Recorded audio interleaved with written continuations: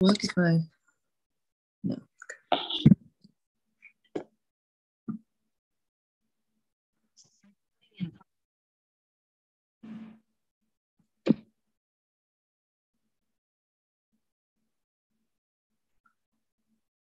Okay, I see a lot of people joining. I'll give everyone another few seconds to connect and make sure they're all listening. Make sure that, uh, yes, we're being recorded. Got it under control. Okay. Hello, everybody. Uh, welcome to this third and final session of the uh, Arch Talk, Arch Talk, Arch Talk. Not sure how we how you say it actually out loud. I've only ever typed it. Um, 2022 by Save Cultural Heritage Group. Uh, this session is, oh, my name is Matilda Ziebrecht as well, for those who didn't uh, catch me in session two.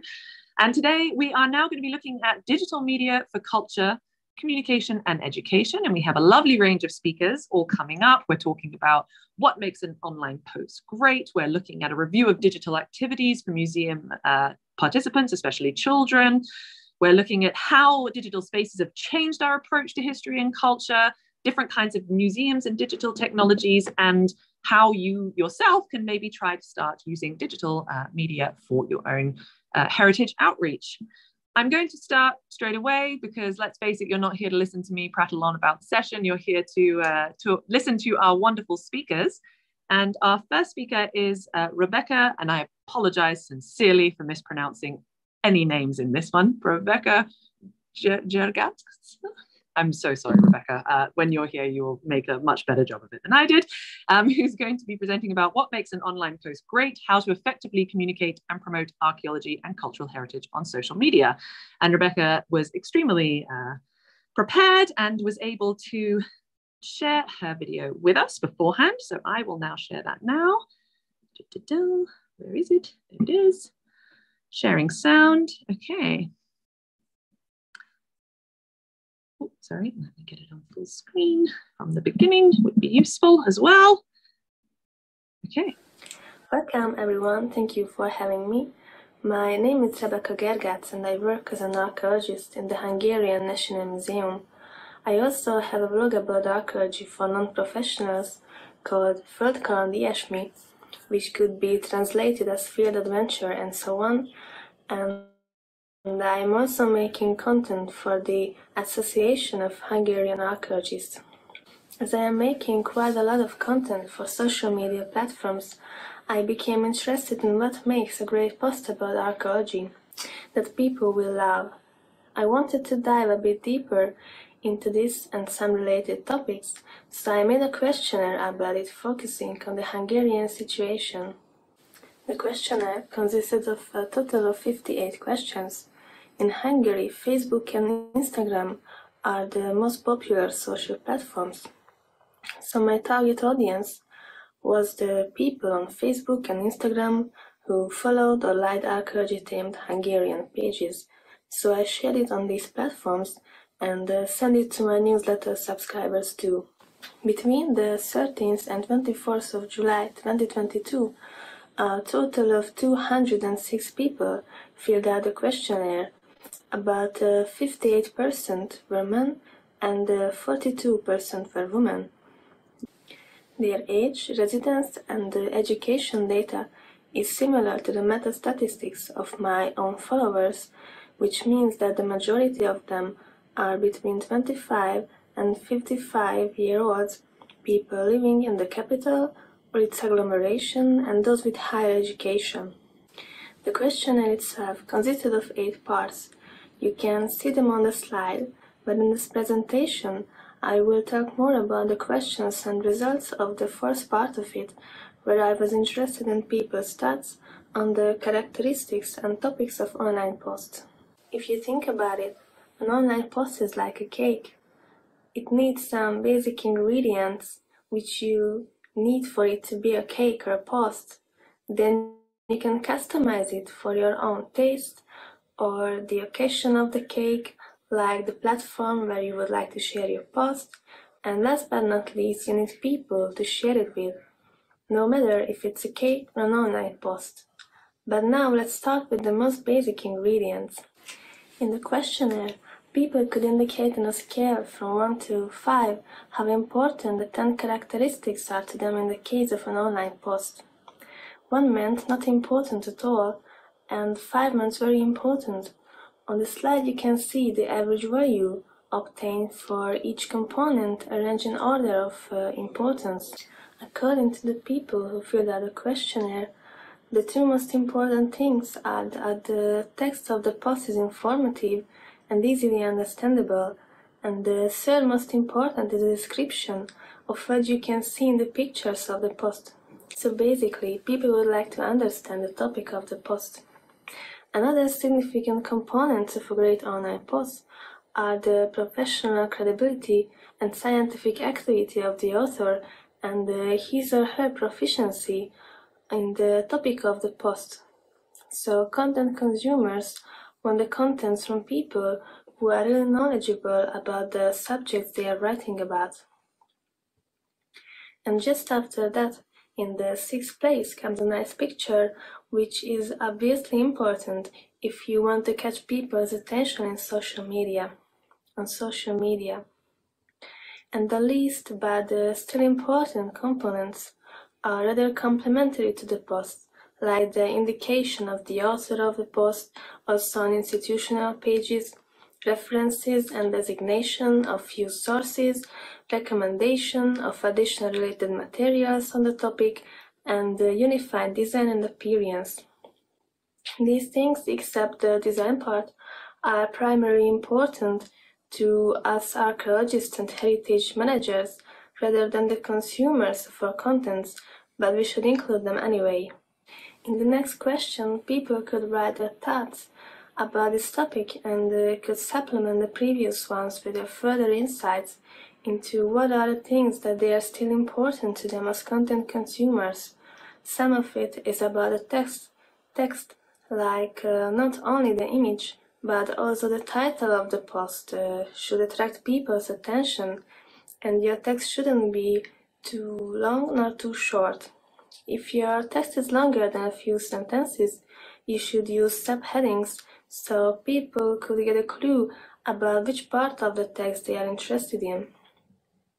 Also, very basic but important thing is that the spelling must be very good, if not perfect, because if it's usually bad, people will assume this about the content too. Another important thing is the use of alt text for the pictures, which can uh, help people with visual impairment to enjoy our posts. And the other three is more about the context of our posts. A lot of time when professionals make online content, they forget that not everybody has the same background knowledge as they do but we need to put everything in some context. Like if we talk about an archaeological culture, we should indicate the relevant dates and the geographical locations so that people can place them among their existing knowledge. Another important thing is uh, visualization. If we write about an archaeological object type, like a fibula, we should put it into context too, and uh, one of the best practices for it is by using reconstruction drawings and illustrations so content consumer, consumers can see how the people of the past use them. But what's the point of making the best cake or online post of the world if you don't have people to share it with? Nothing, because the most important part of content creation is engaging with the public. In the previously mentioned questions, there were two very common answers which were related to this part of the content creation process. One of them was regularity, because in uh, Hungary a lot of people do online content creation on top of his or her regular job, and they usually do not have the time nor the energy for maintaining a posting schedule. So it is a valid criticism. And the other common answer was answering questions. Some of you may think that it is so basic to answer questions in the comment section or in direct messages, but uh, sadly, it uh, not for everybody. However, it really can hurt our engagement because if we expect people to read our posts, but we don't answer the questions they ask, then a relationship becomes uh, one sided and then it ends. Because why would anyone follow a site that uh, doesn't even give them answers for a simple question? So, based on the questionnaire, these would be the most important components of a good online post. Although there was no time for this now, it would uh, definitely be interesting to compare this uh, data with the statistics of some archaeology pages in the future. I hope you could find some value in this presentation and uh, that it can help you to engage your people, your audience, uh, even more in the future. Thank you very much for your attention.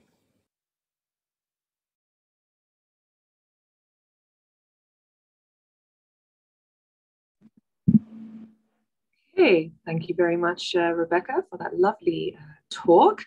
Uh, next up, we have a talk from Maria. This was also pre-recorded, and I just need to check whether it has indeed downloaded onto my computer.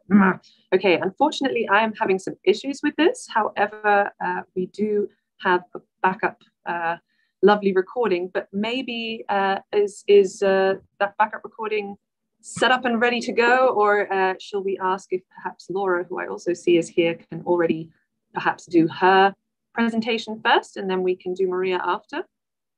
Uh, by the way, if anyone's wondering who I'm talking to, I'm talking to our lovely organizers, Save Cultural Heritage Group. Ah, do I see a screen sharing perfectly?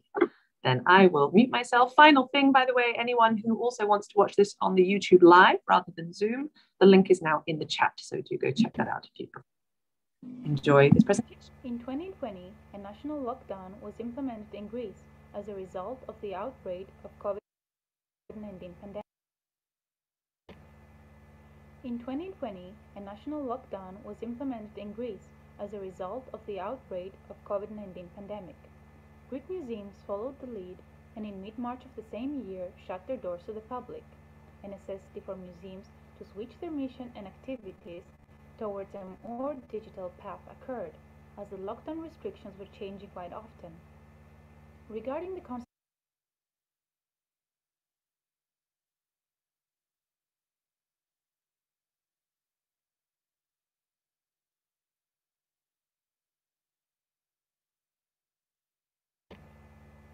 In 2020, a national lockdown was implemented in Greece as a result of the outbreak of COVID-19 pandemic. Greek museums followed the lead and in mid-March of the same year shut their doors to the public, a necessity for museums. In 2020, a national lockdown was implemented in Greece as a result of the outbreak of COVID-19 pandemic.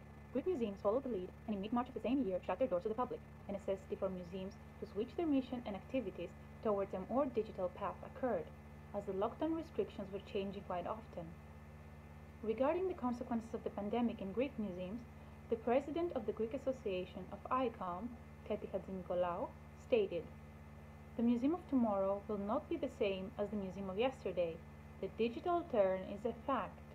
Nonetheless, the balance between real and digital is desirable, and we now must search for the right mixture between the material and material world.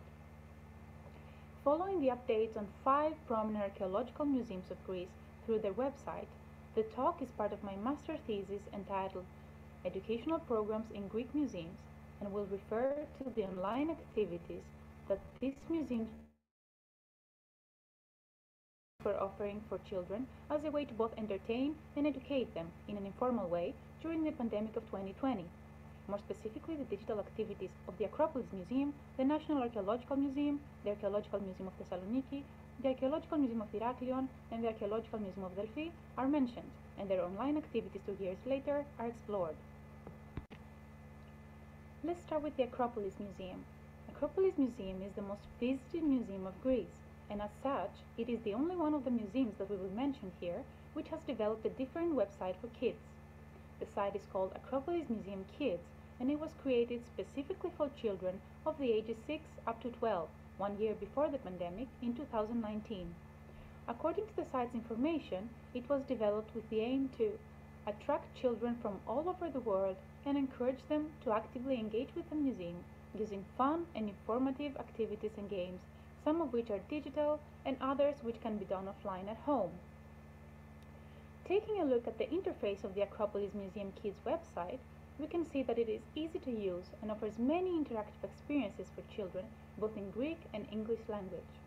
The user can distinguish four main sections in the site Fun, News, the Museum, and Gallery.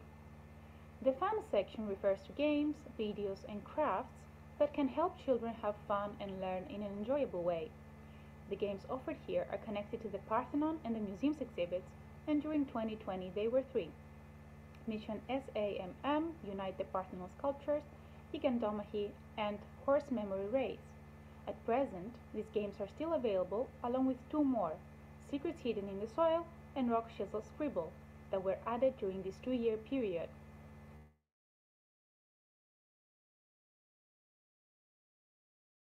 Regarding the videos provided, they are aiming at guiding children through a bizarre walk in the Acropolis and a morning in ancient Athens. The last subsection is called Make, and it is related with ideas on crafts that, ki that kids can make at home with the help of their parents. These crafts in 2020 included an ancient edition cooking class to make an ancient fruit salad, the coloring of the three-bodied demon, the making of an iynx, which is an ancient Greek toy, and the creation of three blocks of the Parthenon frieze, and in 2022 they have been enriched by a homemade pomegranate craft. The new section contains information regarding new activities for children offered by the museum, and the museum section presents a word of welcome and a future possibility for the virtual visit of the Acropolis Museum. In the last section of the website entitled Gallery, children can share artwork made by them as an inspiration from the museum and its exhibits. Moving on to the National Archaeological Museum, which is the largest in Greece and the second most visited one. The museum's website offers six online activities together with downloadable educational material for children in the section of education in Greek language. Five of these activities were provided during 2020 and one was added more recently. The newest activity is entitled We Welcome the Swallows of the Spring and invites the children to read the story of the swallow from the fresco of spring, as well as download the online material and color it or make crafts. Myth Games is the name of another activity where children, together with the Sphinx, are requested to solve riddles associated with mythical creatures and create their own mythical creature and its story. A third activity, Pegasus, simulates a connect the dots game, leading children to a final drawing of a mythical creature. Riddle is another activity that is similar to Sudoku, where numbers have been replaced by ancient artifacts. The last two activities, entitled Medusa Mask and Siren, offer children the possibility of crafting their own mask and making their own puzzle respectively.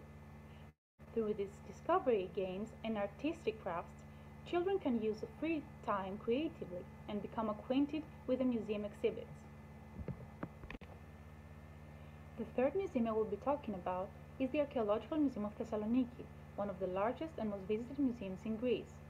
The museum provides online activities for children that are accessible in Greek in the news section of its website under the subsection Digital Events.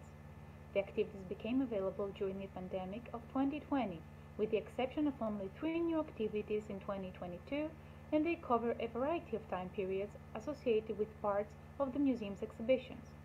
Children can download the online material and can also choose to send their museum-related crafts and artwork as a photo via email and see them exhibited digitally in the museum's website. The activities offered by the Archaeological Museum of Thessaloniki consist mostly of home crafts and art making. An activity called We Stay at Home and Make a Doll gives tips to children in order to create paper doll. Another one, entitled We Stay Home and Make an Origami Bird, offers information on how to make an origami bird. The same applies with the activities We Make a Paper Raft from oak leaves, I Make My Own Mask and Dress Up, we stay safe and color the museum antiquities, as well as the newest ones. I make a mosaic from seeds and nuts, I make bunnies, and I make out of doll. A different kind of interactive activity was entitled Time Alters Everything and Everything Stays the Same, and offered photos of some of the museum's ancient objects to the children, requesting them to find corresponding objects around their home, take pictures of them, and send them via email to the museum. After the activity's deadline, a digital exhibition of the children's sent photographs was set up. One last activity called Seascapes invites children to make a collage inspired by the seascape of one of the museum's marble sarcophagi and send them as a photo via email to the museum so as to be ex exhibited digitally. The last two museums I would refer to are the Archaeological Museum of Heraklion and the Archaeological Museum of Delphi. During my research, I could only find holiday homecraft activities related to the Archaeological Museum of Heraklion, but no other indication of online activities for children in either of those two museums from then until today. Concluding this research, we can note that three out of the five most visited Greek archaeological museums do offer a small variety of activities in their digital environment, including online games of different sorts, such as discovery games, memory games, riddles, puzzles, and questions, homecraft suggestions, entertaining short videos, and virtual visits for children. However, the activities remain the same for the most part, even two years after the pandemic, indicating that Greek museums prefer a more face-to-face approach rather than an online interactive experience. Thank you.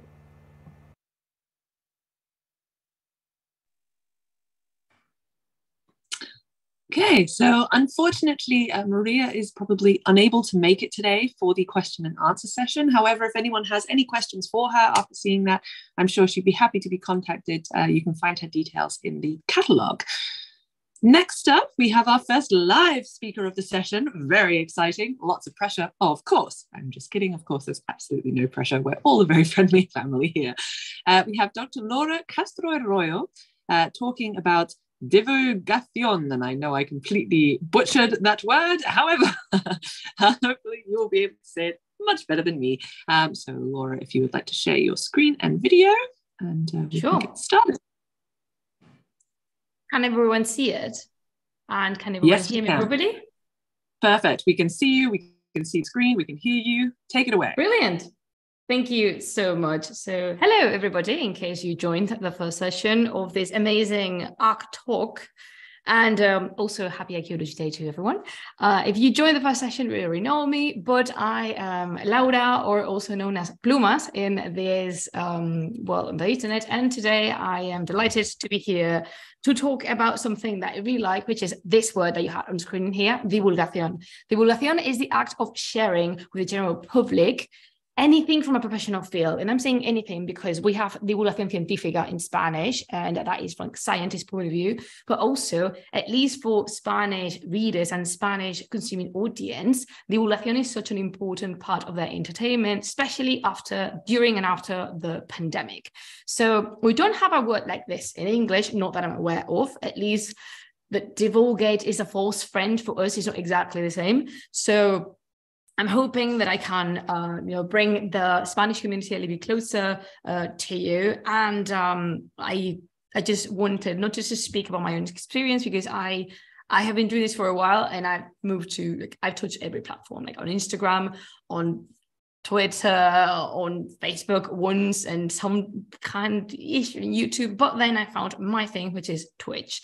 So the challenge here is uh, for me to speak and share my own experience and others, and not to seem like Twitch is like sponsoring me or anything, because trust me, they're not.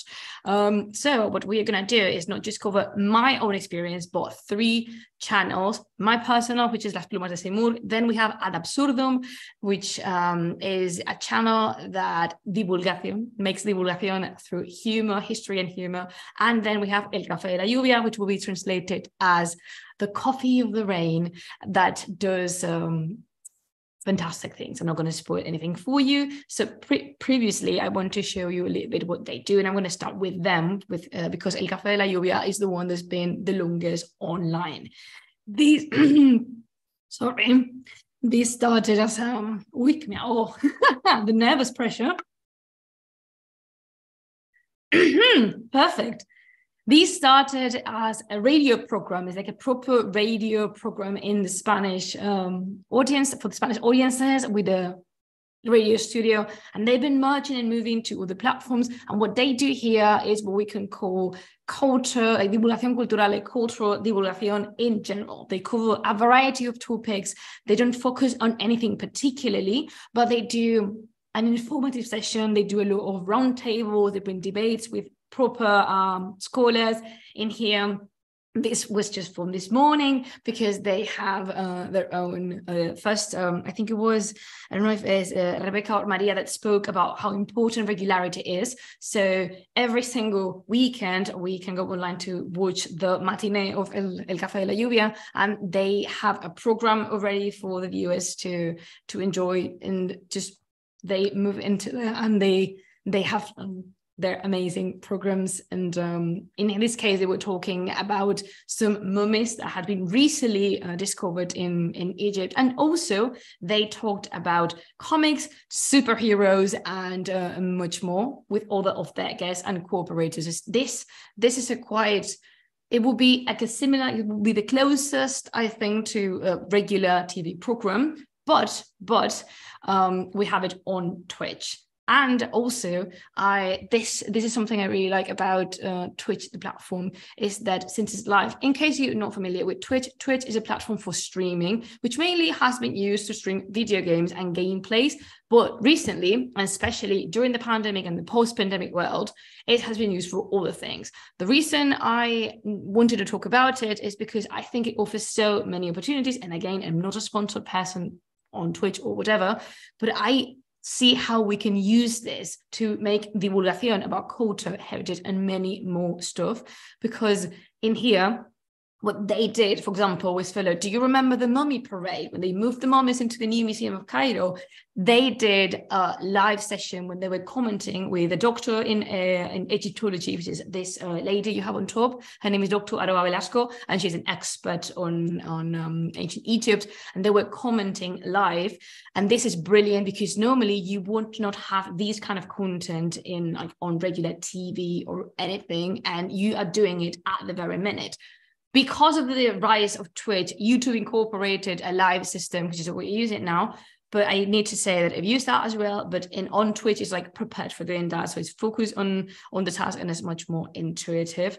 Then we have Ad Absurdum, and Absurdum is a consolidated pillar of Spanish speaking divulgación. They've written multiple books about um, history and not just Spanish history, but general uh, history uh, of um, uh, worldwide history. And um, what they do is that they tell history with a touch of humor. And this is something that has proven to be super effective within the, big public and the general audience. They have audiences from very young children to, you know, uh, the elders of our communities. And when they move to Twitch, what they do is a little bit more like um interview program. It was so successful. They were so successful that fortunately for us in Spanish TV, we have El Condensador de Flujo, which is the first TV program of cultural divulgación in Spain. And this was from, it was the, it was started in 2021.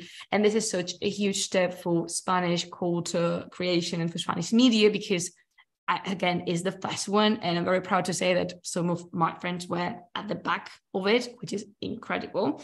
And finally, there's my own Twitch channel. I am a little bit different in the sense that I do focus on something. I do uh, Iranian studies, which are not very much shared with general public. And uh, that what I do is, on the one hand, I share, you know, just can lecture like content, or I comment on books and I kind of emphasize things that I don't like, you know, like critique because generally the Iranian field studies is not very approached. It's not approached by the general public, at least in Spanish uh, speaking um, audiences. They barely know much about it. So that's like I am a kind of the first step for them to know. But also I explore all the methods to doing so. Video games and again humor and podcasts we do interviews in there and uh, the one below was a particularly successful one because i played age of empires and i was telling the audience as I was playing if the things that they were saying were really Persian or not. Now, can this be done on the platforms? Definitely. But Twitch has something that other people, like other platforms, do not um, do not have. First of all, it's very accessible. There's live interaction and it's less formal than a seminar, although you can make it look like a seminar. And the best thing about is building a community. True, every kind of social media platform is based on a community, but Twitch is catered to a very specific kind of audience the live audience, the audience that actually enjoys commenting and being there. in the post-pandemic uh, atmosphere, a lot of people turned to Twitch because they were not satisfied with um, what they could consume in normal let's say media uh, like especially i'm thinking of tv but many people turn from youtube to twitch because they feel accompanied and the feeling of being live as close as it can be it proved to be very very successful among the the spanish public. Some of them some of the creators uh, in Spanish, we've called this the alternative academia, although you can make it as everything in life as academic as you want. Um, and also a, a, beautiful window for creating an international community that gathers at the very same time because they have you have a moment for your audience to come to talk to you and to talk to all the people and to learn together about all the all the things also us creators can be monetarily supported and we have backers which is uh, amazing. And everything i don't know about projects like english speaking projects or in other communities i'm pretty sure we must not be the only ones but what we aim is this sharing with the general public history because we do believe that it's not just ours from for the academics it's everyone else's and complementing with all the people that are doing this on, on social media like more traditional thinking of instagram twitter and youtube Twitch now is a brilliant platform because, again, I kind of express enough how tailored it is for a very specific kind of audience, which is, for example, mine or the audience of uh, my friends' uh, projects. And um, uh, yeah, like for example, in here we celebrated Yalda, and of course, I could upload a video about the Yalda night, but what we did was celebrate it live, and we did that on the very day, in the very same day. And we did predictions with Hafez. So you're teaching, you're having fun, and you're doing that in the moment. So um, unfortunately, my talk was not as informative, but rather it was to talk about my experience and to invite people that maybe want to explore that side of sharing with general public try and um, to try Twitch and build like a different kind of community. And this community allowed me to be in contact with other creators, so I could create this book, which is a reflection. It's like a an essay on on Sufism and video games, which is video games. I'm a, I'm a big fan, and I do use a lot of video games to teach history. So there's a lot of opportunities I could just draw from here. And yeah, that's basically everything I have to say. In case you want to check any of the projects do you want to learn Spanish to learn where they are? I do bilingual content, but unfortunately, my friends only do Spanish content. So if you want to learn for that, and if not, that is perfectly okay. So uh, yeah, thank you so much. And I hope you were entertained for just a little bit. So over to you, Tilly, again. Thank you very much, Laura. Um, I'm now very keen to try out Twitch. It's never been something I've thought about. okay, um, we're still nicely ahead of schedule, but we, I think we will just continue and then we can have a nice longer uh, question and answer session. By the way, for all those watching, uh, as you can see in the uh, uh program, we do indeed have a, a half hour question and answer session at the end of this session. So be thinking about what kind of questions you have for people, and uh, we can either do them live or through the chat at the end. So thinking caps on. Okay, our next talk is another pre-recorded one. However, it will be shared by the great lady herself. So we have Blanche Kennedy talking about museums and digital technologies. So Blanche, if you would like to share your screen. Hello, welcome everyone. Um, I'm just going to share my screen now and get it up. Okay.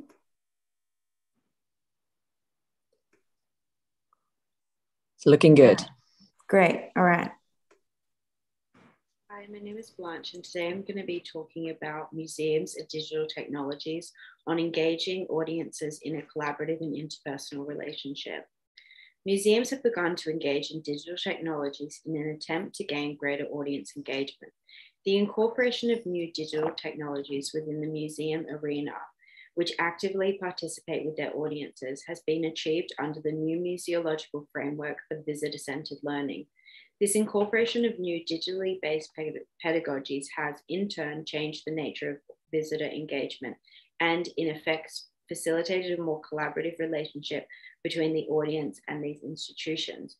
Furthermore, this incorporation has given rise to recognize communities and social and cultural groups whose voices have historically been underrepresented and marginalized from museum collections and spaces.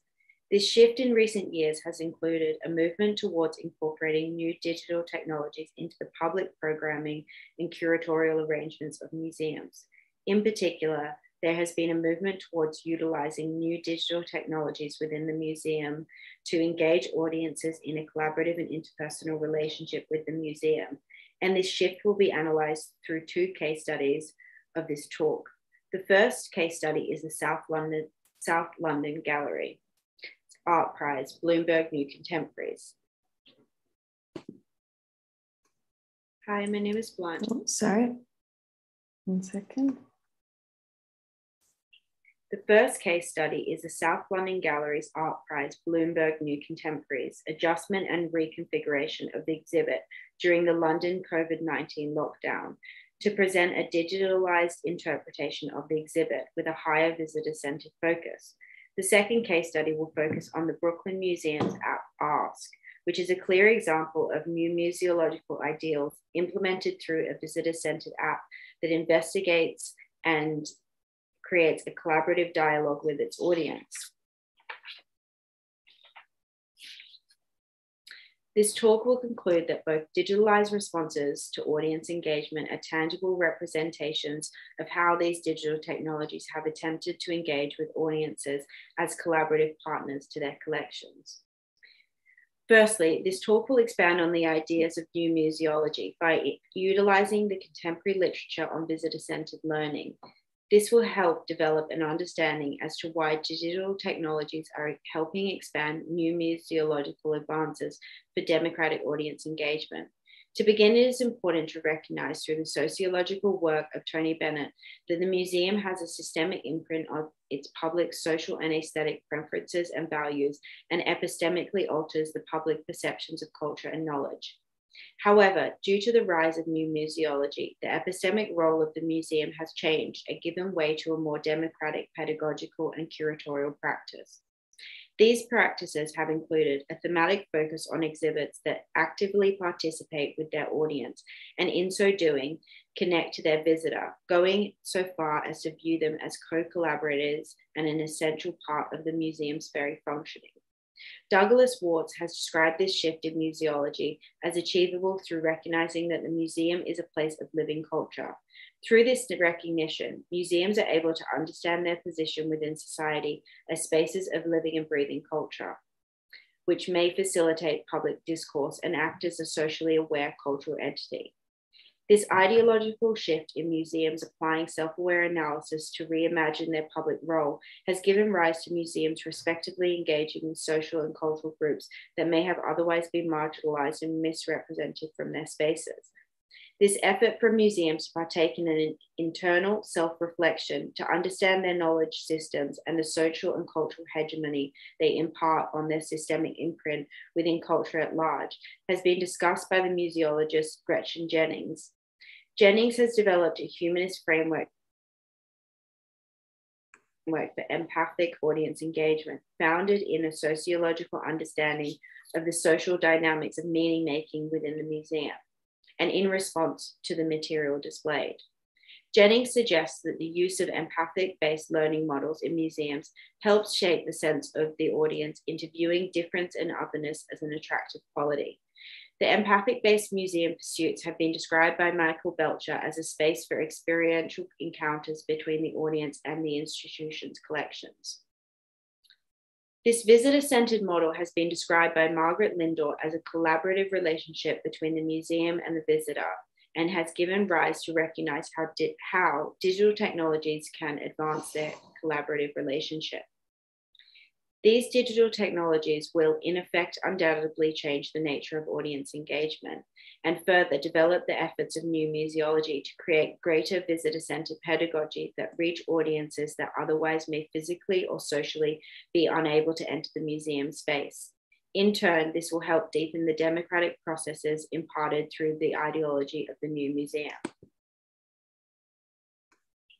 The first case study is the South London Gallery's Art Prize Bloomberg New Contemporaries adjustment and reconfiguration of the exhibit during the London COVID 19 lockdown to present a digitalized interpretation of the exhibit with a higher visitor centered focus. The second case study will focus on the hmm. Brooklyn Museum. Sorry, I think it's actually gone to the. The first case study to be analysed is the South London Gallery, a contemporary gallery situated in the University of the Arts London Camberwell. The gallery is small but holds notable contemporary artists ranging from the local contemporary artists such as the 2019 Turner Prize winner Oscar Murillo and houses a permanent collection of artworks, including several from Camberwell and Goldsmiths alumni, including the YBAs. South London Gallery's showcase of an annual art prize for contemporary artists called the BNC, usually shown within the gallery, has been adapted during the COVID 19 lockdown. BNC insisted that the digital exhibit where artists were selected during the British lockdown were connected via Zoom and still enacted and uh, responded to. The panel of judges who eventually decided to postpone the exhibit instead created the exhibit's digital online platform to display all 36 artists' artworks. Therefore, the audience would not miss out on the exhibit and could interact with the artworks within a new and more physically accessible medium. This change effectively made the team at BNC and furthermore at South London Gallery reconsider questions around the use of digital technologies within museums.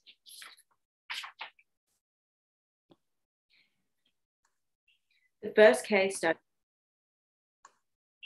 this, this change effectively made the team at BNC and furthermore at South London Gallery reconsider questions around the use of digital technologies within museums, posing questions like what opportunities the digital space might, should, and could offer to the artists and audiences, and how does this dominant history impact working digitally?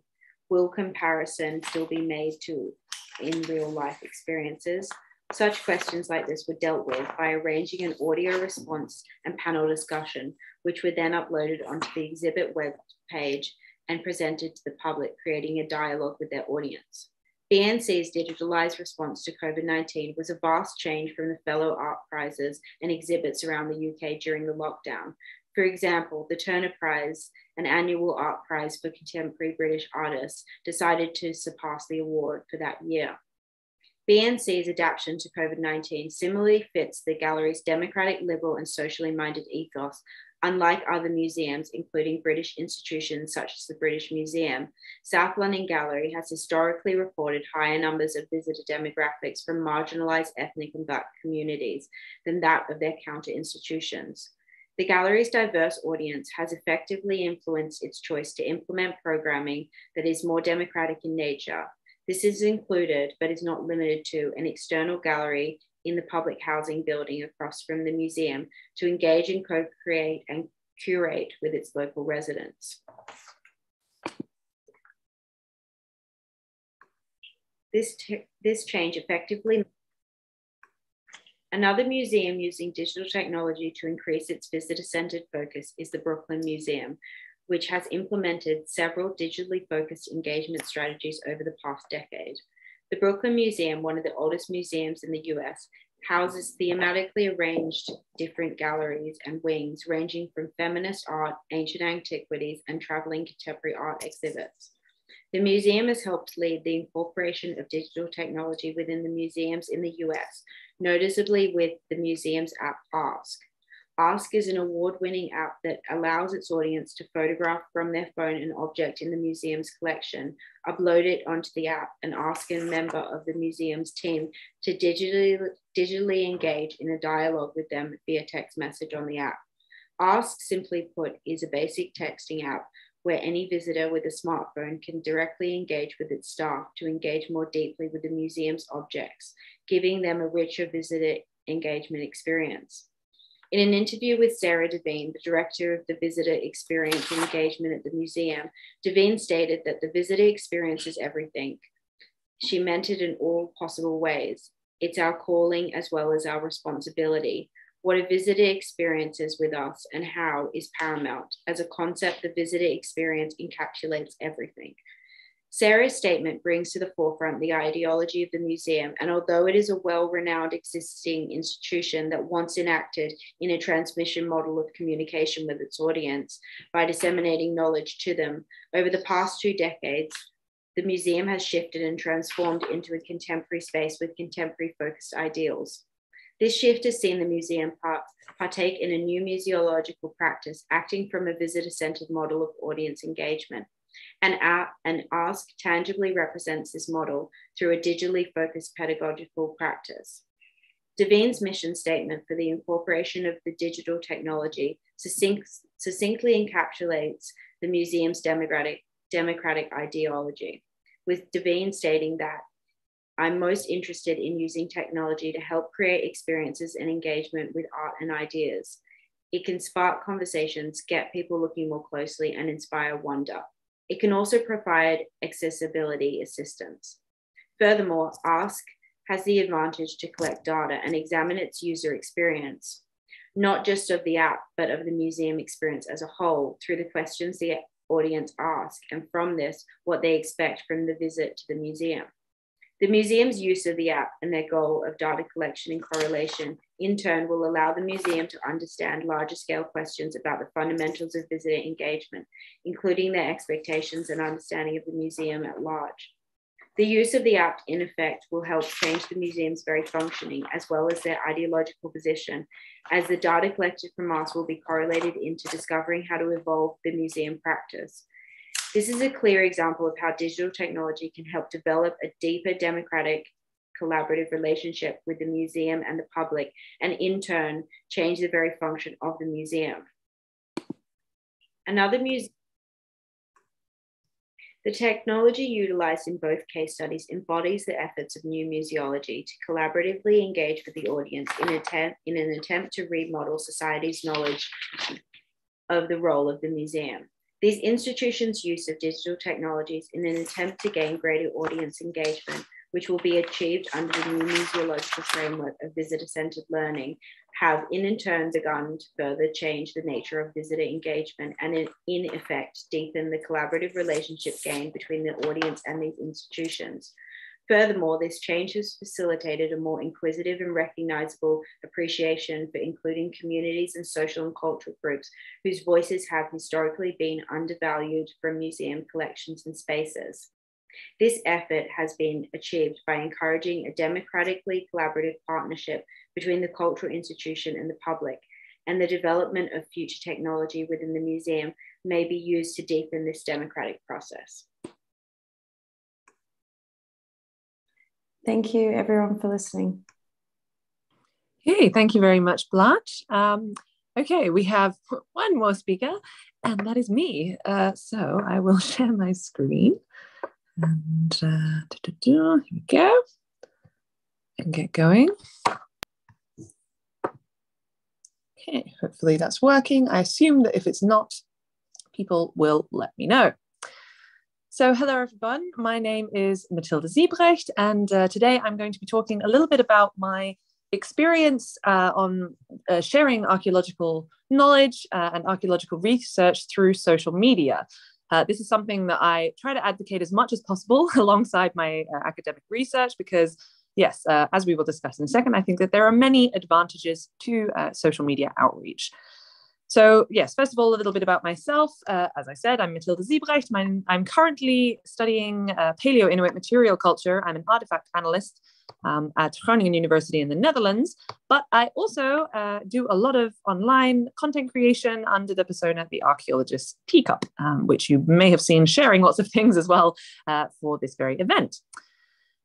And uh, I wanted to indeed talk a little bit about the sort of advantages and disadvantages of using social media, my experiences with it, and what I think is having where to start. So hopefully, uh, after this, you might have a little bit of inspiration.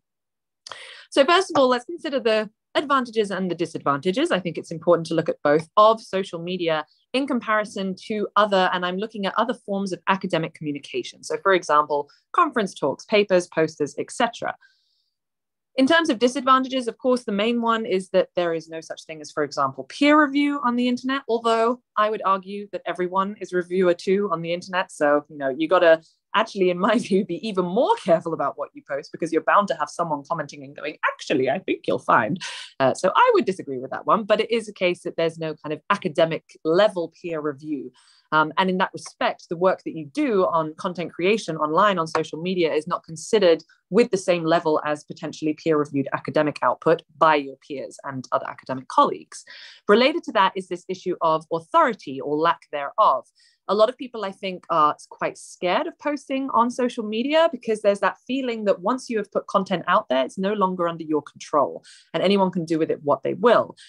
Again, this is something that I think is actually quite uh, invigorating and quite freeing, but it is indeed something that a lot of people um, struggle with on a personal level and a professional level. There is, of course, the ethics of posting on social media. For example, uh, I work with Indigenous communities. A lot of the content that I share is fine, but there might be some things where I cannot share it just simply because it is sacred to a particular community or it is something that is forbidden to show uh, visually or to be shared outside of the community. Um, there is also the issue, for example, of looting of archaeological sites. So, quite often, if people are working on an excavation, they just can't show that much information about the site they're working on for the fear of uh, people finding out where it is and coming and uh, stealing uh, cultural heritage. In terms of the sort of practical applications of it, there's of course the issue of time.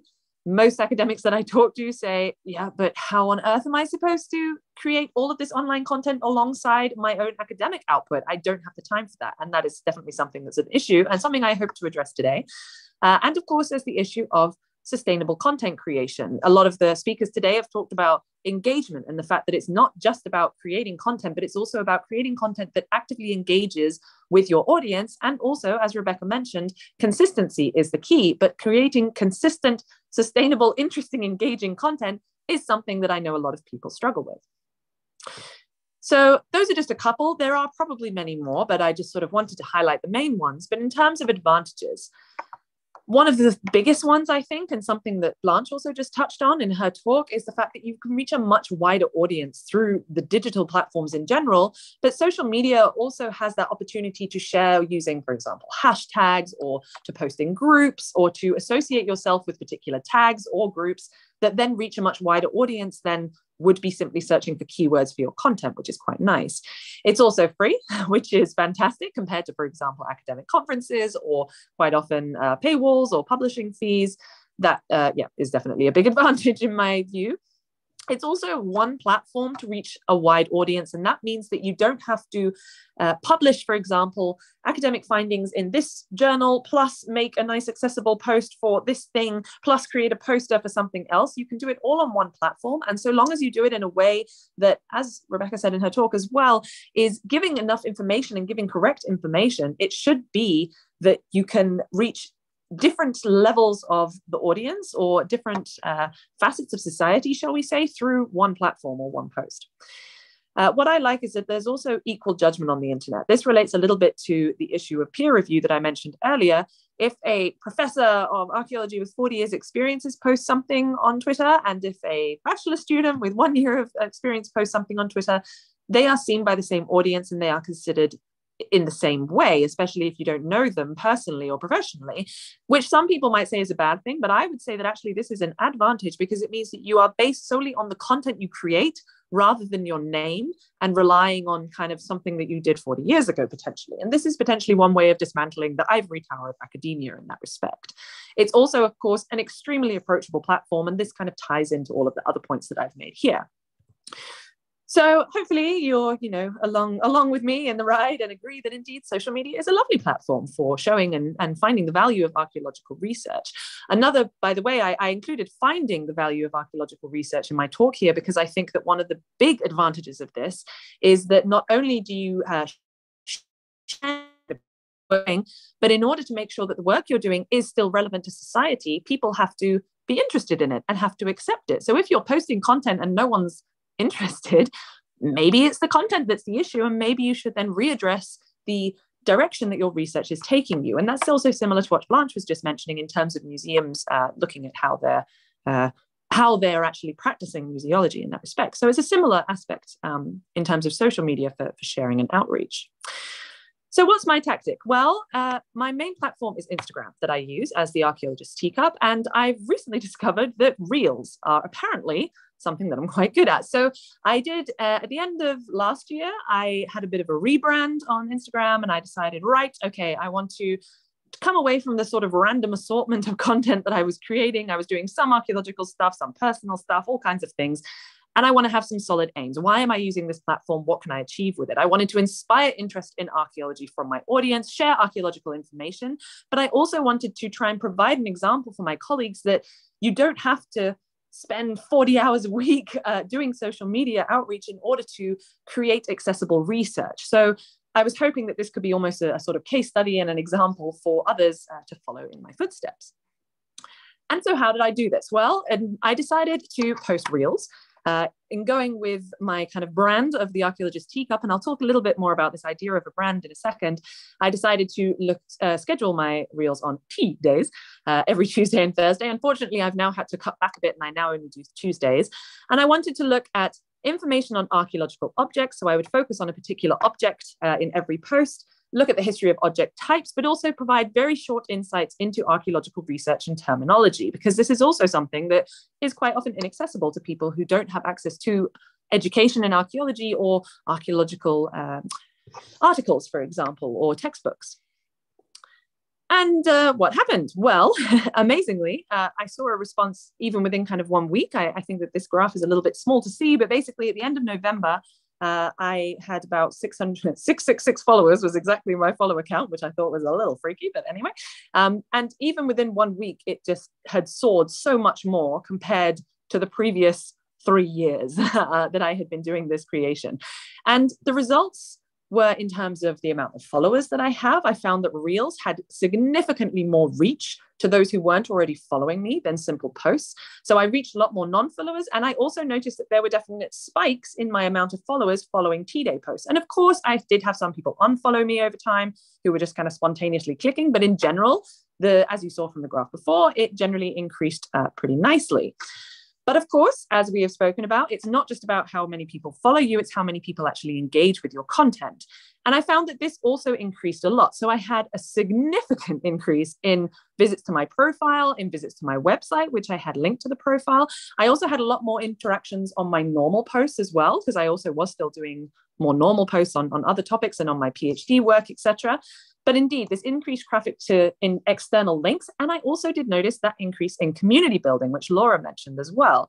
So uh, you had a lot of, for example, nice comments on screen underneath the video. People weren't just liking it or sharing it, they were actually really engaging with the material. People were saying, wow, this is interesting. What about this question? Or asking questions or sharing information that they'd found somewhere else, sharing links to other things, giving their own uh, ideas and points based on what I have been saying in my video, which I was just thrilled about. I hadn't had that much engagement from people before. And also off screen, I, I meant to say just then as well, uh, so many of my friends who are non-archaeologists, for example, when I would chat to them, they'd be like, oh, by the way, I found that really interesting what you shared the other day. I never realized that and I hadn't thought about that. And actually, blah, blah, blah. And we'd have a talk for 10 minutes about archaeology, which never happened before. They were never that interested in things. So I found that this was a really great way to then kind of tap into a new audience, start building a community, and it's increased amazingly now. Now I have a lot more followers and a lot more engagement as well, um, which is fantastic.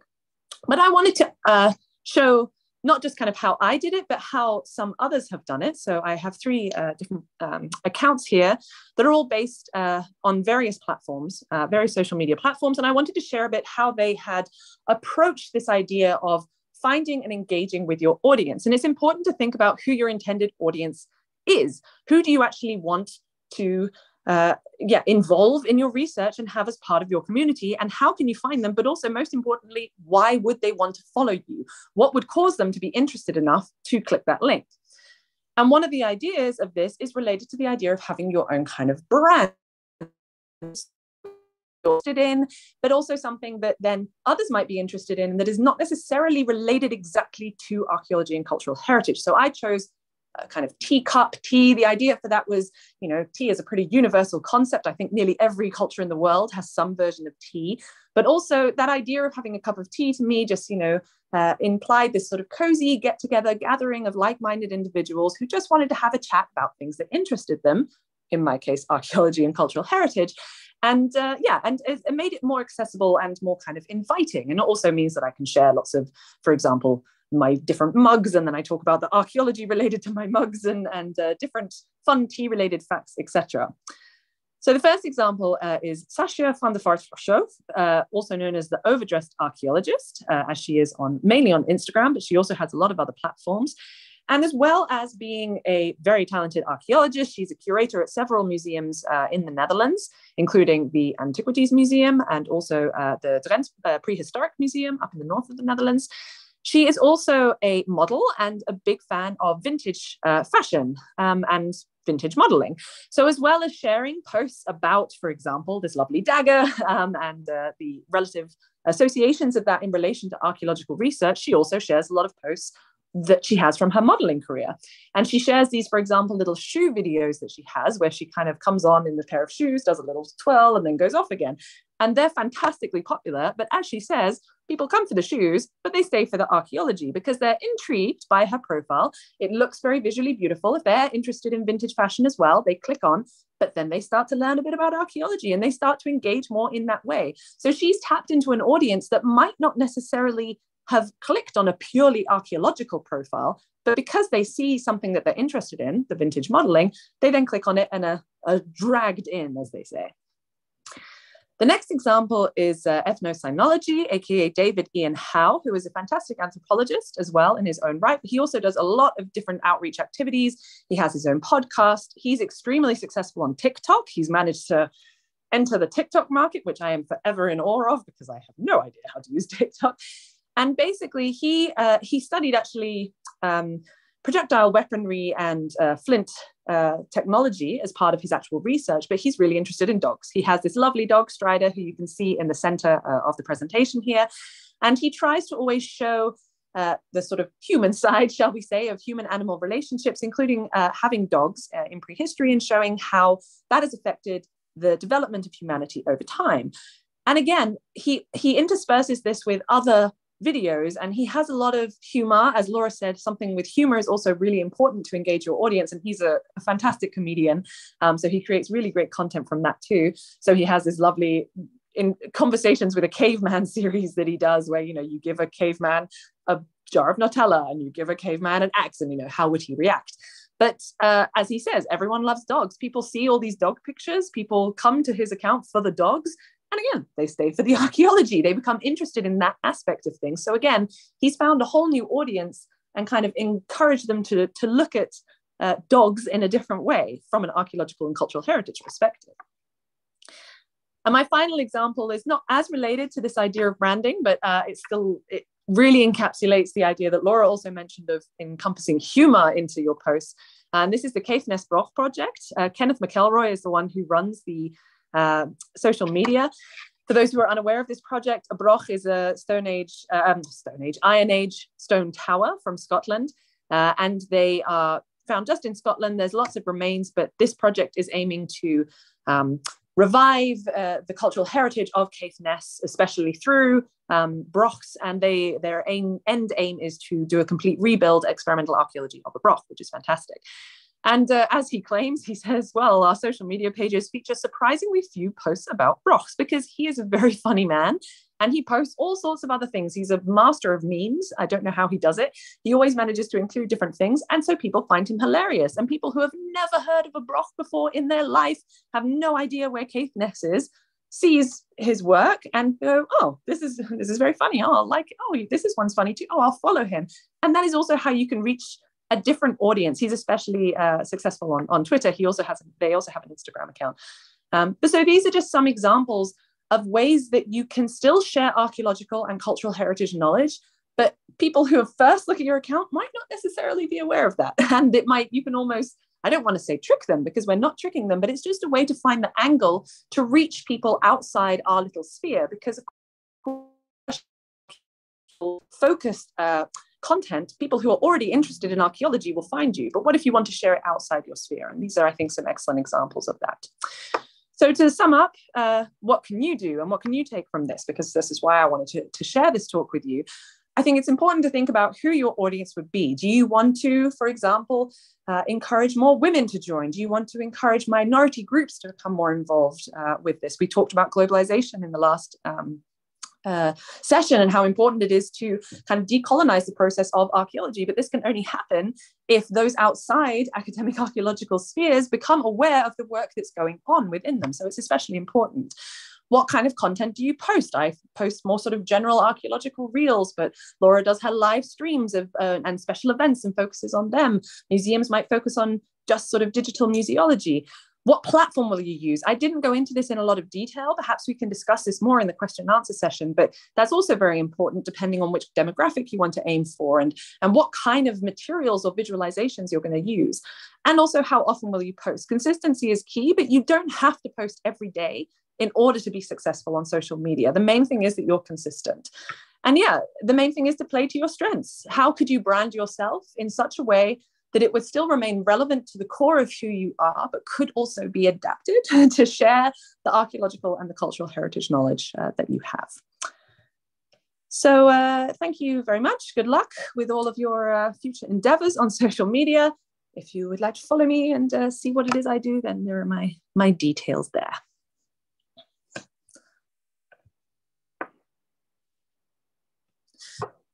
Okay, so that was uh, the end of the session, uh, the end of the talk. Uh, oh, thank you. I see uh, little applauders. So we now have time for some lovely question and answers for our speakers. I apologize, by the way. I see I went a little bit over time. Prerogative of being the session moderator. Um, but uh, so if anyone has any questions for our speakers, please do feel free to raise your hand using the little function on Zoom. You can also type any questions you have directly into the chat uh, and we can make sure that we can uh, read them out. But to start us off, I have some questions for people that I've been noting down during the session. Uh, so, Rebecca, first of all, apologies, sincere apologies for the mispronunciation of your name. Uh, yeah, I'm terrible with pronunciation and names. Um, but i'm curious so you talked about sort of the content of the post and how it's important that we do share you know information and we don't just kind of oversimplify things but i mean how much information can you share? How simple can, do you have to go, or how complex can you go? Do you think if you want to sort of reach a wider audience? I was curious of your thoughts on on the sort of yeah complexity of of the information you're sharing, if that makes sense.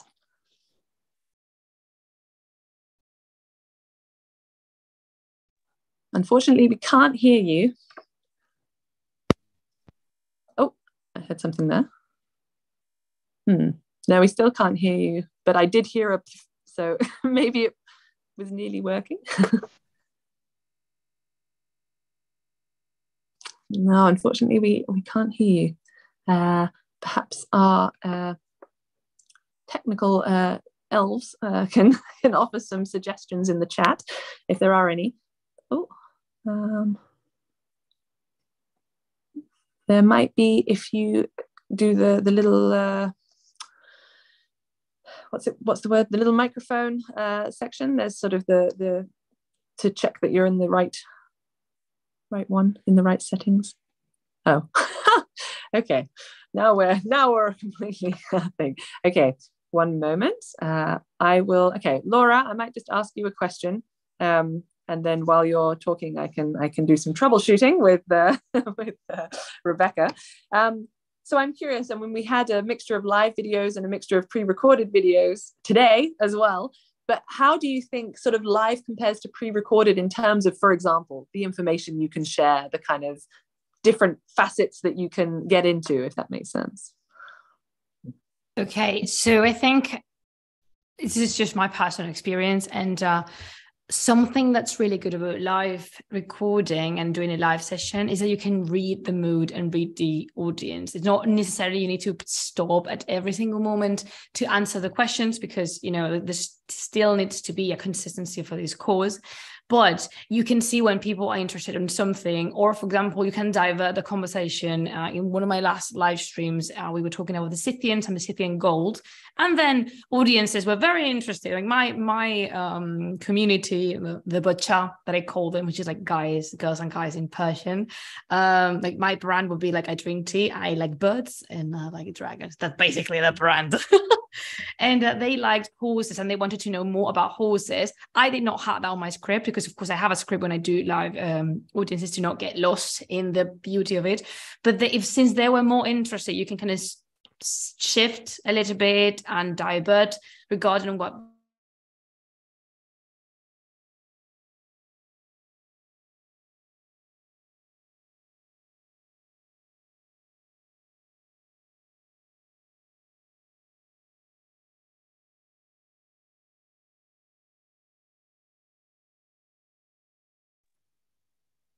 I'm not sure if it's just me that Laura has frozen for. no, she has frozen for me as well. Ah, okay. Oh, such a shame. That's such a good answer. Okay. Unfortunately, Rebecca cannot hear me uh, and her microphone seems to uh, be struggling, but we have our little background elves uh, working on the issue in the meantime. Um, unfortunately, Laura also seems to have, uh, have left us momentarily. Hopefully, she can come back soon. Oh, yeah, okay. Hopefully, she'll come back in a second. Uh, but Blanche, I also have a question for you. So we'll we'll move on, and hopefully, we'll get somewhere. Um, and uh, yeah, we'll work we'll work on that. Um, so uh, I was curious. So you talked about, um, for example, the fact that that there's been a different way that museums have seen what people want them to show in, in very simplified terms. I know you said it a lot more eloquently than I just did. Um, but do you think that might, how do you think, for example, the demographic of the people who are actually using digital platforms affects that? So, because I assume anyway that maybe it's younger generations that might be more involved with the kind of digital side uh, of, of museums compared to, for example, older ones, and that might affect it. What are your thoughts on, uh, on that? Um, well, yeah, definitely. It would be younger demographics that know how to use digital technology, but um, I think the purpose of these museums is not necessarily to engage in older generations that have you know they've kind of already made up their mind about you know if they're going to be interested in that space so the kind of i guess the like the motivation of those institutions is to get in you know younger generations larger demographics to be able to join and then from there create more of a democratic environment with you know the new generations that are coming that would be my assumption at least and uh, just one further question uh, that i mm-hmm. had was in terms of the way that people interact with the actual material at the museum obviously does get affected whether you see it on a screen or whether you kind of see it in real life i remember you know there's so many objects that you see but then you see in real life and they're just that big or they're actually that big or, or something mm-hmm. like that mm. how do you think uh, uh, do you know any examples of museums that have kind of dealt with this issue or, or how do you think museums can deal with that issue of kind of giving the same sort of perceptions that people have in real life well, yeah, I know that the British Museum utilizes that a lot to show, you know, particular objects um, in more, you know, detailed form. And I think the purpose of that is to have more of an interactive experience with those inanimate objects. I think overall that's going to be a positive thing because if you can connect to objects in more of an emotional way or a personal way, you're going to create more of a connection and understanding to them rather than just seeing them in a, you know, curated in a you know behind glass or whatever it is or something that you can't touch. I also know that not that it's digital technology but i know that british museum now has something where you can actually go around and physically touch the objects and that's kind of those digital technologies are taking that one step further where you can inter- interact with them virtually. And also museums are starting to utilize vr technology a lot more which I know um, I've done some case studies on how, in particular, Holocaust museums have dealt with that and used um, VR and AR to create these like um, almost transient experiences where you can see yourself in, say, out the Auschwitz Museum is utilized it, so you can actually like enter Auschwitz um, through a VR headset. And I think overall, those kind of things uh, or those kind of technologies create a yeah as i said an emotional relationship with it because once something's personal you can then imprint your own understanding on it rather than you know limited the kind of like limited sensation of just seeing an object and then kind of reading a didactic is never going to be to the same depth. So i think yeah for the first question overall it will be towards younger audiences, but that's also something that's an inevitable process of trying to get people who are more perceptive or like, um, no, sorry, receptive to knowledge is going to be that demographic and that utilizing, you know, the means of digital technology to create more overall connective relationships with the material is you know there'll always be things that aren't necessarily positive or take away from the kind of traditional setting but um, in general it's most likely going to have a positive effect. Good. It's a nice optimistic view. Um, rebecca i see you are back. Shall we see if uh, your audio is working? Now maybe can you hear me? Excellent. We can hear you. Uh, so just to repeat my question briefly, in terms of uh, your thoughts on kind of how how simple you have to go on the content, or how complex you can be in the content of of your post. I think there's a range, so uh, it can be good if you so. Sorry, I'm a bit tired. So.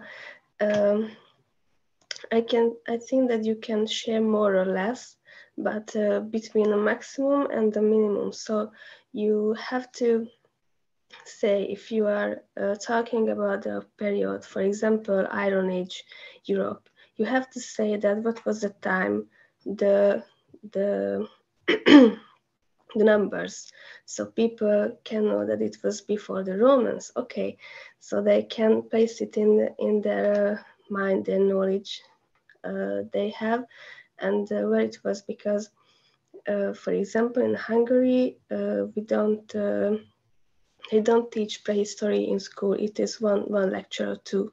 So if I say people that you know it was in the Bronze Age XY culture, they don't know about it because why would they know? so you have to uh, put on uh, sorry, uh, map map where it was, and uh, the numbers from one to uh, to when it was, and then it's up to you how how much you want to uh, how much you want to say about the context. But there are some minimum things you have to, and, and you can't go into very much detail because that will be too long and they want to read it. So I think we have to find uh, find that way that it that is uh, good for us and good for the people we would like to reach out. I hope I answered the question. Yes, no, definitely. Sorry, my mute button kept vanishing from me, so I couldn't unmute myself. No, I definitely agree. I find I have a very similar issue when I, especially because I limit myself to one minute of video, and then trying to work out what information to put in there is, is very interesting. Um, just while you're still here and while it's still working, and before you get too tired, um, I want to ask again as well to Rebecca because um, you looked at both Instagram and Facebook, I believe, in in this study uh, that you did did you also see a difference between those platforms in terms of i'm just thinking for example instagram is very visual so that the image will be almost more important uh, in maybe in some respects but on facebook you can share lots of other things like embed links and you can do a little bit more things. Did you ha- did you look at the differences between the platforms as well? Uh, no i uh, yes, I, I was uh, uh, doing a little research on Hungarian pages on Facebook and Instagram and uh, how much engagement they get. And Instagram was much better. I think because a lot of uh, museums are on Facebook but not on Instagram, but they uh, don't really use it the way so they say they they can't really engage the people. They get like five likes for a post and have 5,000 uh, followers. So that's not really good, but it's uh, much better. The engagement rates are much better on Instagram uh, because a lot of uh, younger or uh, just most uh, experienced in social media people are doing content there and they don't do that on Facebook because the younger, not the youngest because they are on TikTok, and I'm, I'm still too old for TikTok, but the people between the TikTok and Facebook are on Instagram, and uh, I think that's the generation that uh, really started uh, doing this in Hungary. So Instagram is uh, doing much better, but I think that Facebook can uh, could really uh, could do really well but it isn't at the moment. So a lot of page, sadly. Although what is interesting actually is Facebook is very popular, for example, among uh, Inuit populations. They use Facebook for everything, like everyday conversations and everything. So it's it's funny to, yeah. You, I think uh, it's also in, for example, in Hungary it's that way, but it's also interesting to see how it could be different in different cultures. Laura, I see that you're back as well. I'm going to come in with a question to you before you vanish again.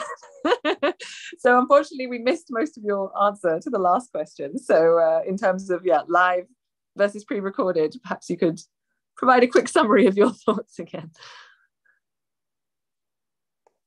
Oh, uh, oh no, we can't hear you now. Oh no, what about now? And now we can. Yes, now you. All right. Lulu Julian here is playing games with me. See, this is something that I'm very used to because when you do a live session, you need to be resolutive in this sense.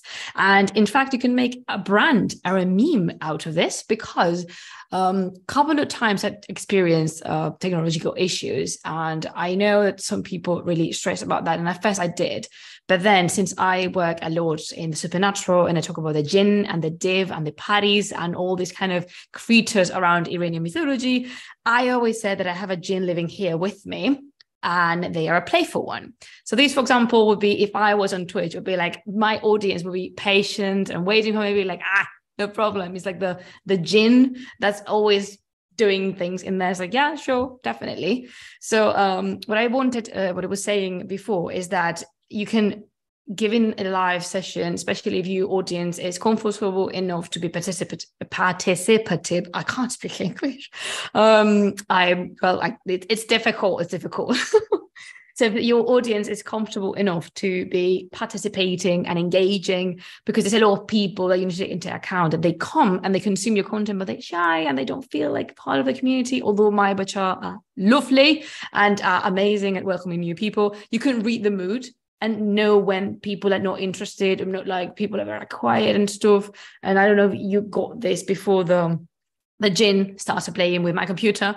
But um, the one of the last streams we did was on Scythian gold and Scythian archaeology, and people were interested in horses and animals because that's something I am interested to. And I, even though I had a chunk of text on something completely different, I said, you know what? People like to talk about animals. Let's do talk about animals. You can switch to that. And also something that I love doing and the main reason I started my Twitch channel in the first place was live readings because people love hearing stories. And what I do is I sit and I read the Book of Kings, which I would love anyone to read about or read themselves or anything. And it's not just a reading, there's a commentary. So you can just, you know, of course, again, you can do this on YouTube, but you can feel the audience is there. And of course, you have to be patient.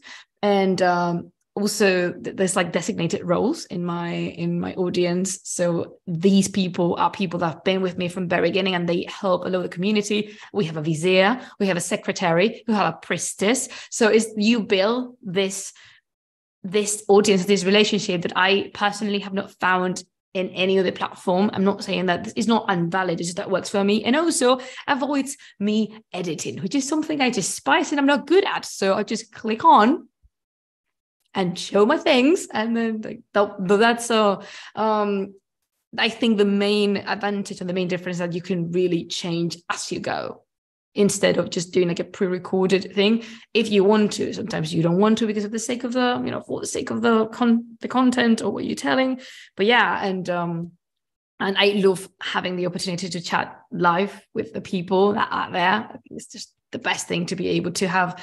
It's like going out with friends or tiny classes conversation. I don't know. I'm really happy about that.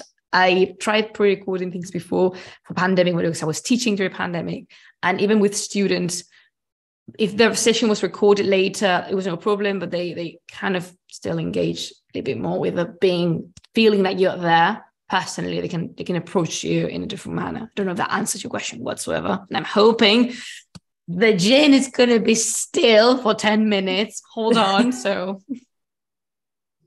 No that definitely i think that was good. And that's also i think a nice way to show you know you can be more genuine almost and authentic and live compared to pre-recorded because it's harder to be yourself when you're just talking to a screen. Whereas if you're sort of talking to people then i, think that's easier as well. Um, i'm also just curious about uh, so you mentioned Twitch, and and uh, I, is this something that's mainly watched on a, a, computer screen? Can you also access it on your phone? Do you find that you have kind of okay so you do have is this sort of accessible to people in a mobile sense as well yeah it is and in fact many people join and they tell you hey i'm listening from my phone and during the pandemic when we were all looked up people watched the people watch streams from the TV and they would send me pictures of it because you can you know connect internet to a TV and it was it was exactly as watching a program and they were very entertained. Um, now with the situation that's changed, I thought that at least this kind of content is like history based Twitch was going to have a decline. But I'm still here, and so are my friends. And it's not like it's not my main job because I do have a, a different um, job occupation professionally i do something else. But is it's still there so people enjoy it. And i always say this is going to be here as long as you guys want this to be here because when interest drops i'm just like i've stopped doing it. So yeah it's, it's accessible. And also you know tablets phones and many people can apparently it's a little bit more intuitive regarding the like chats and emojis and stuff. Is a little bit better to use the phone. So a lot of people choose to use the phone over that because some people when they come to the live program they will listen to it as a podcast. My the audience can surprise you in many many ways. No sounds great. And actually your last point there um, uh, was about sort of the, the pandemic and how that's affected things and how things have happened after that as well. And i actually i see that there is a question in the chat and i'll get to that in a second. If anyone else has any questions please raise your hand pop them in the chat etc um, but i'm curious sort of out to all our speakers how do you think this the pandemic has sort of affected this digital communication? That we sort of touched on that in different ways but not just the good ways but also potentially the in bad way or disadvantages of, of what the pandemic has done and and how so uh, researchers museums uh, individuals can kind of mitigate those circumstances. Perhaps rebecca you would like to go first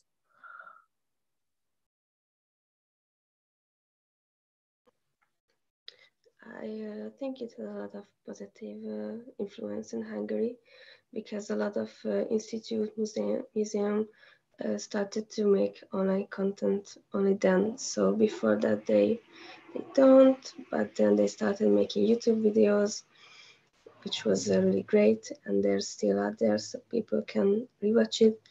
I also started my blog in the pandemic and uh, and I know a lot of other people who started their online presence uh, during the pandemic, uh, for example, on Instagram.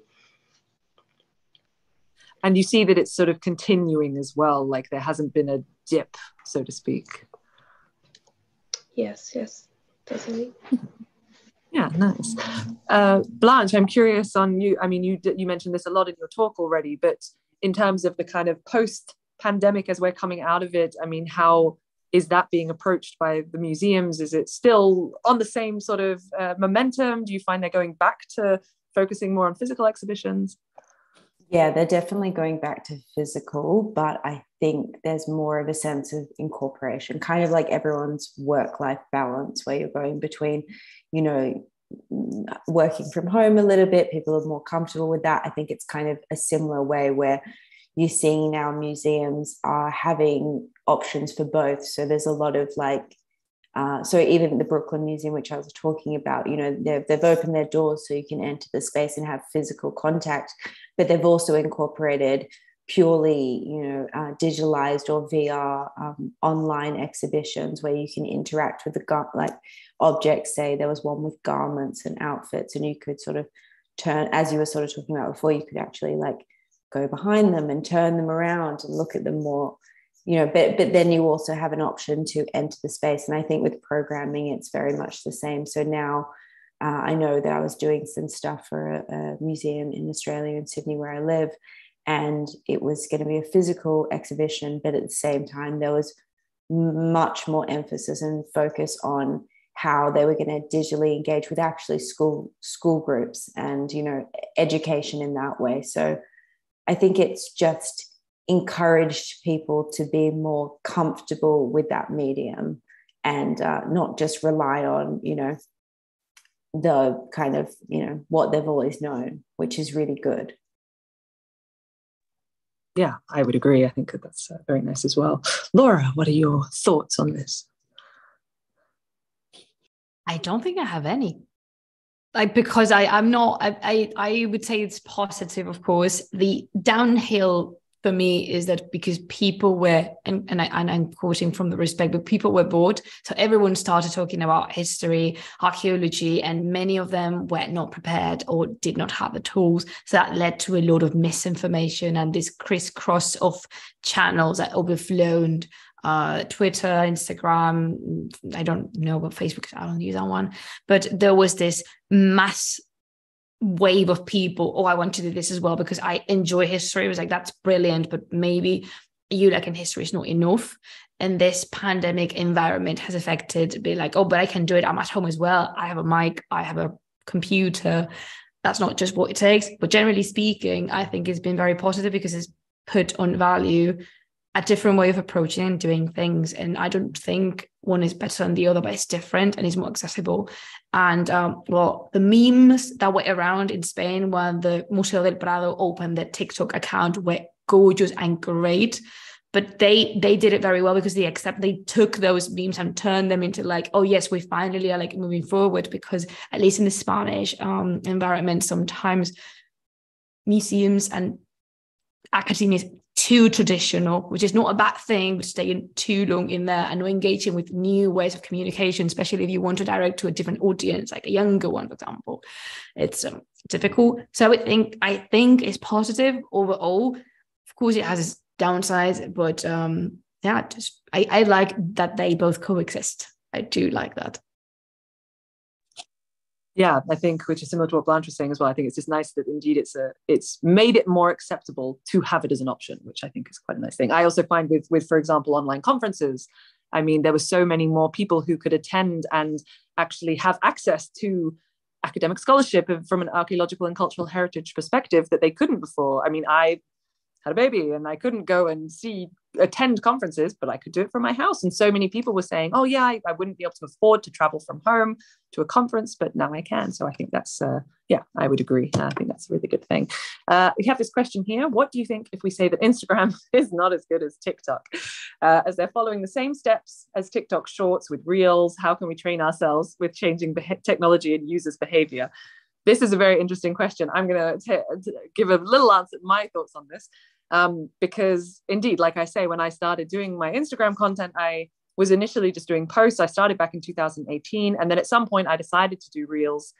I'm not sure why. I just thought, let's do some video uh, stuff.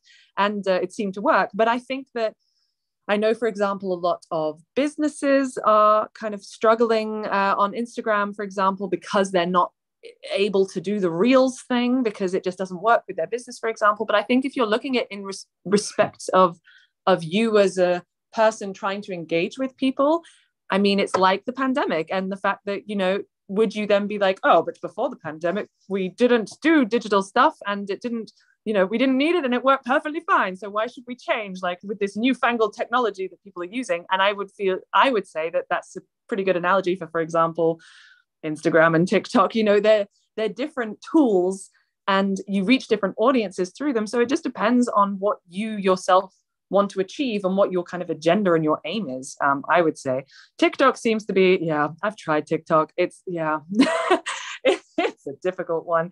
Um, I think that yeah, Instagram still definitely has a certain charm and i mean rebecca was mentioning this a little bit as well before the fact that uh, Facebook now is more kind of maybe meant for older gener used by older generations and you know uh, that style of things. But then for example if you're wanting to reach an older generation you would use facebook because that's who you want.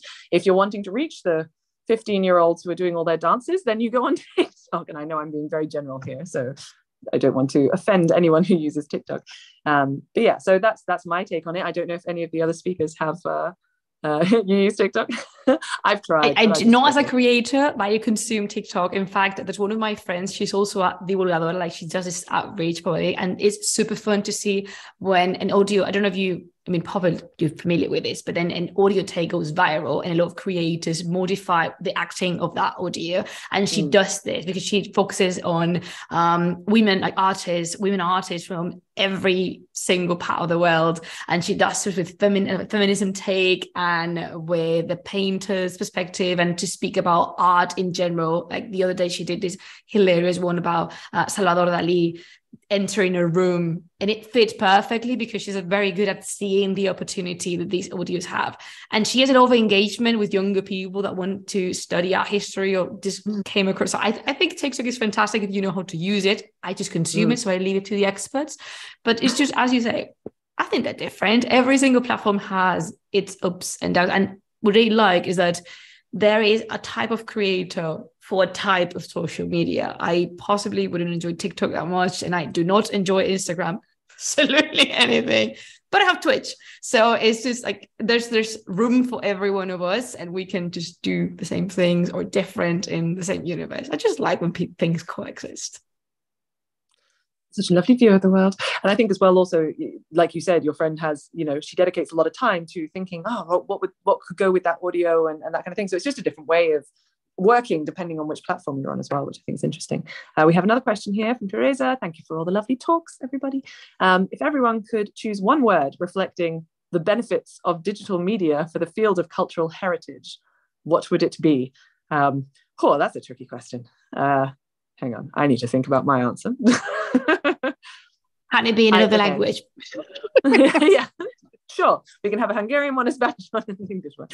Um, but uh, I think for me, it would be accessibility um, would be the benefit because, yeah, it, it's just opened the world to other people in a way that, yeah, and and not just cultural heritage, but also the the curation of cultural heritage. Um, people can see what's actually happening with it, um, which I think is important.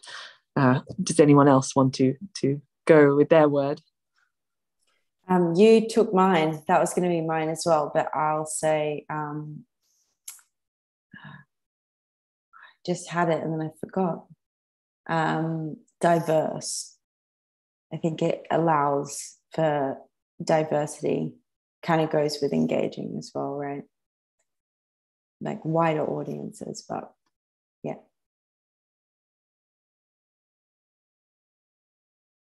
I just Rebecca know. Laura, feel free to say it in Hungarian, sorry, or Spanish. I don't know. okay, so I'm, I'm, I'm not a native speaker, so sorry about that. I don't know if this is a word, but in Spanish it is. so I would say grounded in the sense that sometimes archaeology, history, art history are put up there in these ivory and gold towers that are not accessible, not diverse, or not anything.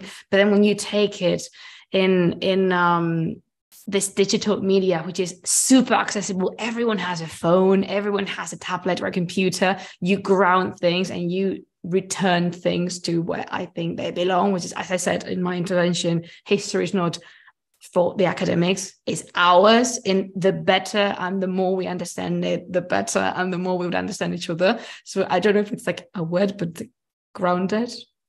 Like and, and humble or something like that, like along those lines. I don't. so no, no, yeah, I, I, yeah, yeah. yeah, yeah, yeah. No, nice, very nice. Rebecca, do you have, do you have one in your head? I feel bad. I feel like we're keeping you away. uh, mine would be connection. It's like similar to Laura's. So connecting people to our history, to each other, to ourselves, and uh, I, I had some really great experiences uh, because I, I uh, usually uh, promote uh, public archaeology to my followers, and some of them went to their programs and then wrote me messages that how fun it was, and they didn't know about this before. So this was a connection too through a sharing. So connection would be my word.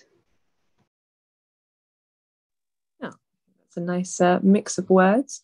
Uh, well, I think uh, we're probably at the end of time um, and we will need to have a short pause so that people can enter the final uh, Zoom session because I'm just getting up my agenda here. Um, so yes, we will have a, a short session break, uh, but hopefully everyone has registered for the closing talk uh, and thanks, which will be happening in sort of five ten minutes. Uh, so we look forward to seeing you there and uh, all of our speakers uh, for joining, very much appreciated. And uh, yeah, we will see you all in five to 10 minutes in the closing and thanks session.